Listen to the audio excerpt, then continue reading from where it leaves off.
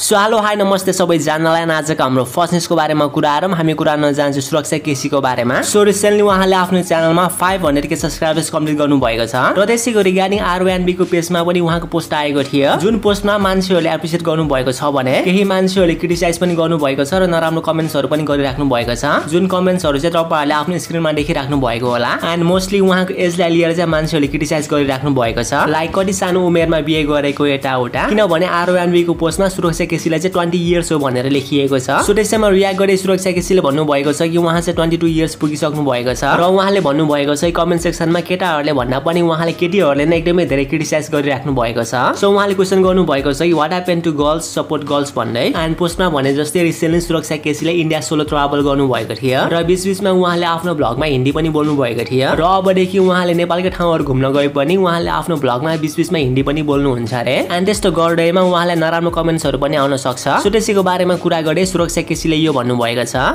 मान्छेहरूले चाहिँ अब ए यसले हिन्दी बोल्यो भने ठुलो कुरा नगर्नु होला। किनभने जति हाम्रो च्यानल प्रमोट भयो नि बाहिर बाहिर त्यति टुरिज्म प्रमोट हुन्छ कि हाम्रो नेपालको। किनभने हाम्रो नेपालमा यति राम्रो राम्रो ठाउँहरू छ।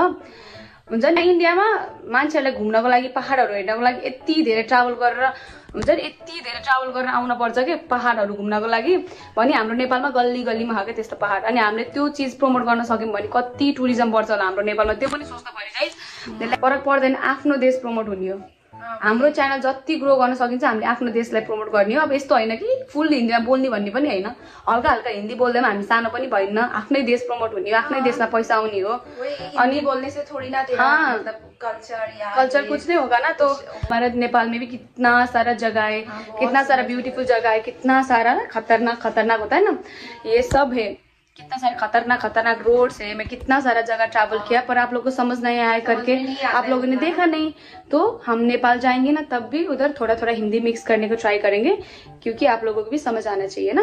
तो वही। अब शब्दको बारेमा कुरा आएर हामी कुरा नजान्छौँ अन्जिला सुब्बाको बारेमा। सुरबालन थाहा रिसेन्टली भएको वाफ वुमेन च्याम्पियनसिपमा नेपाल फाइनलमा पुगेर जोर्डनसँग पेनाल्टीमा हार्न पुगेको थियो। र त्यो होल टुर्नामेन्टभरि नै नेपाली फुटबल फ्यान्सहरूले चाहिँ नेपाली टिमलाई चाहिँ एकदमै धेरै सपोर्ट गर्नुभएको थियो। सो त्यसैमा रियाक्ट गरे अन्जिला सुब्बाले सबैजनालाई थ्याङ्क यू भन्नुभएको छ। र त्यसको साथसाथमा उहाँले यो पनि भन्नुभएको छ कि नेपाली फ्यान्सहरूले चाहिँ जहिले पनि रिजल्ट मात्र खोज्नुहुन्छ। बट भित्रभित्र के भइरहेको छ उहाँहरूले जुन फेसिलिटिसहरू पाउनु पर्ने हो त्यो पाइराख्नु भएको छ कि नै उहाँहरूले जुन डाइट पाउनु पर्ने हो त्यो पाइराख्नु भएको छ कि नै त्यसको बारेमा चाहिँ कसैले पनि क्वेसन गर्नु हुँदैन। बट जहिले पनि राम्रो रिजल्ट मात्र एक्सपेक्ट गर्नुहुन्छ भन्नुभएको छ। के छ भने अब वुमेन्स लिग नभएको पनि टु इयर्स जति भइसक्यो होइन? त्यो नहुँदा पनि अब हुन्छ नि अब जे होइन एक्सपिरियन्स हो सबै कुरा होइन। अब जति फुटबलमा अब गेम्सहरू भयो कम्पिटिसन भयो त्यति नै त अब राम्रो हुने हो नि। तर अब टु इयर्स जति भइसक्यो त्यही पनि हामीले कहिले पनि कम्प्लेन गरेको छैन हामीलाई यो भएन त्यो भएन भनेर होइन। तर अहिलेसम्म चाहिँ हामीले जो राम्रै पर्फर्मेन्स गरिरहेको छ उनीहरूले अब सबै कुरा नपाउँदा पनि राम्रो गरिरहेको छ। यसमा चाहिँ म खुसी छु।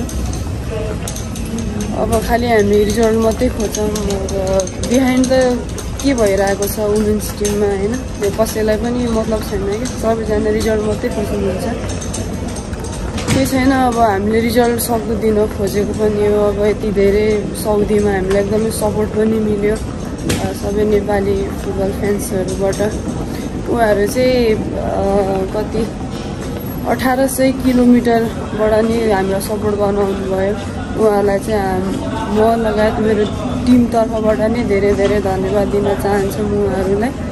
अनि त्यसै गरी अब हामी नेक्स्ट अपडेटको बारेमा कुरा आएर हामी कुरा नजानेछौँ गणेश जिडीको बारेमा। सो उहाँको नयाँ भिडियो चाँडै आउँदैछ किनभने उहाँले आफ्नो स्टोरीमा यो पोस्ट गर्नुभएको थियो। एन्ड अब नेक्स्ट अपडेटको बारेमा कुरा आएर हामी कुरा नजानेछौँ सबिन कार्कीको बारेमा। सो उहाँले आफ्नो न्यू सङको टाइटल आफ्नो अडियन्सहरूलाई चुज गर्न दिनुभएको थियो। आई थिङ्क अब उहाँले आफ्नो नयाँ सङको टाइटल यही नै राख्नुहुन्छ होला। ओके आजको लागि यति नै एन्ड अलमोस्ट कति एक महिनापछि भिडियो हाल्दैछु है। अब आई होप तपाईँहरू सबैजना सन्चै नै हुनुहुन्छ होला बिर्सिनु भएको छैन होला। अब अरू के भन्नु त्यही हो अब सकेसम्म रेगुलर हुने ट्राई नै गर्छु। भिडियो हाल्ने ट्राई गर्छु। त्यही हो अब नेक्स्ट भिडियोमा भेटौँला। अरू त के भन्नु है? त्यही हो अरू।